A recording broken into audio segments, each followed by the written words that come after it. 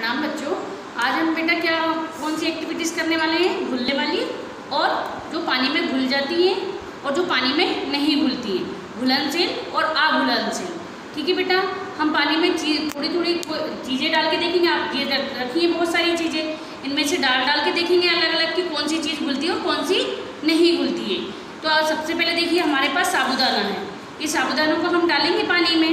पानी में डाल करके हम इसको चलाएँगे। ये हमारे पास चाकू है, आप चम्मच का उपयोग करिएगा इसकी जगह। तो ये चाकू से हमने चलाया तो ये देखिए देखिए, साबुदाना गल गए क्या इस पर घुल गए क्या? नहीं घुले। घुले हैं क्या साबुदाना इसमें? नहीं घुल रहे हैं। तो साबुदाना भी नहीं घुले। अब देखिए। ये क्या है बेटा? नमक है। क्या है बेटा? नमक। नमक को हम दूसरी गिलास, जो हमारे पास दो गिलास है, हमने एक में आगुलनशील वाले डालेंगे और एक में घुलनशील वाले डालेंगे। ये नमक है नमक हम डालेंगे पानी में और इसको हम चला देंगे।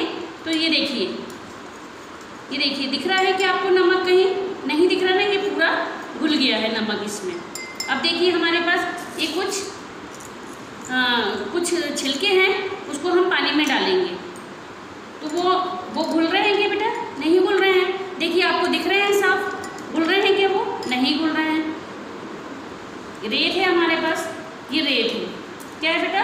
रेत है। तो रेत को भी हम पानी में डाल के देखते हैं, घुल, घुलती है कि नहीं घुलती है? ये देखिए।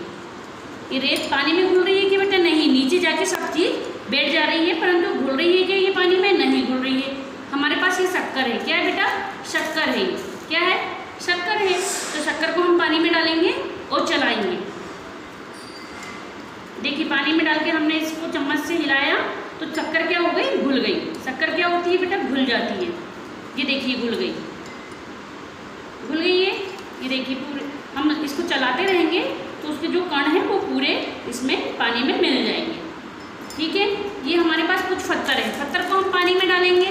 तो पत्थर को हमने पानी में डाला तो पत्थर घुलेगा कि ये देखिए, पत्थर भी नीचे जाके पानी में बैठ गया। पर पानी में मिल गया क्या ये घुल गया क्या? नहीं घुला अलग दिख रहा है ये देखिए पत्थर निकाल के भी हम बता सकते हैं। ये देखिए, आपको अलग अलग दिख रहा है। इसमें साबुदाने के कुछ दाने दिख रहे हैं आपको, छिलके के दाने दिख रहे हैं और पत्थर भी दिख रहा है। ये घुले घुले के बेटा नहीं, ये नहीं घुलते, ये पानी में ऐसे ही नीचे जाके बैठ जाएँगे। काली मिर्च है हमारे पास तो हम इसमें डालेंगे तो घुलेगी क्या ये? नहीं घुलेगी। घुलेगी क्या? नहीं घुलेगी काली मिर्च भी। ये देखो पानी में ऊपर तैर रही, कुछ नीचे बैठ गई है। तो ये पानी में घुल रही है क्या? नहीं घुल रही है। क्या क्या चीज़ घुल जाती है? देखिए, हमारे पास क्या है बेटा? चूना है है ना?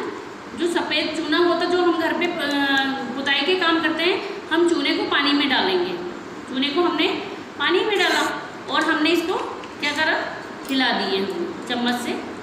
तो देखिए, पानी सफ़ेद हो गया बेटा, यानी ये पानी में घुल गया है। चूने का पानी सफ़ेद हो जाता है, ये देखिए पानी में चूना पूरा घुल गया है। तो आपको भी घर पे अलग अलग बहुत सारी चीज़ें होती जैसे हम निर्मा ले सकते निर्मा भी पानी में घुल जाता है। तो हम बहुत सारी चीज़ों, चीज़ें ले करके और इसको घर में करेंगे आप। दो गिलास लेंगे, एक में आप घुलनशील और एक में घुलनशील।